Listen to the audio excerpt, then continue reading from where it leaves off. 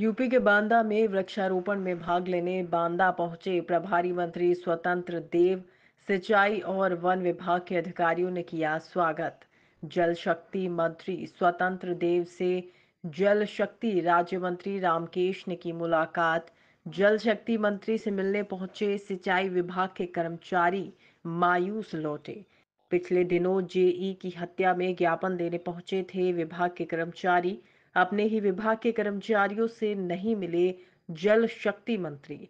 कल मिलने की बात कह कर्मचारियों को लौटाया विभागीय मंत्री के न मिलने से कर्मचारियों में दिखा रोष। जेई की हत्या में कोई कार्यवाही न होने से नाराज़ हैं कर्मचारी। मंत्री के न मिलने से मायूस होकर लौटे सिंचाई विभाग के कर्मचारी। प्रभारी मंत्री जनपद में विभिन्न जगहों पर करेंगे वृक्षारोपण।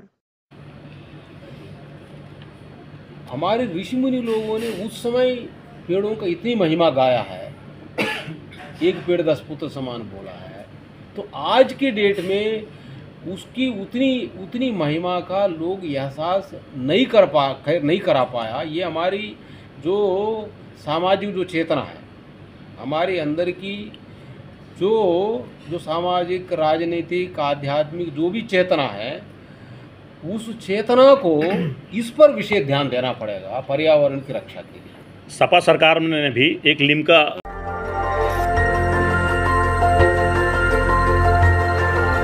देखते रहिए डीबी भारती समाचार नज़र हर खबर पर।